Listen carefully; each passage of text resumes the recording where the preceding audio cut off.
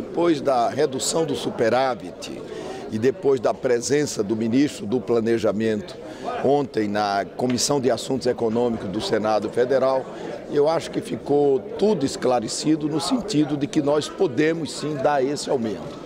E acho, com relação ao aumento da Bolsa Família, e eu digo isso assim com uma certa propriedade, porque eu fui o relator do Bolsa Família no Senado Federal, eu acho que isso, do ponto de vista do impacto, significa muito pouco diante do que está aí.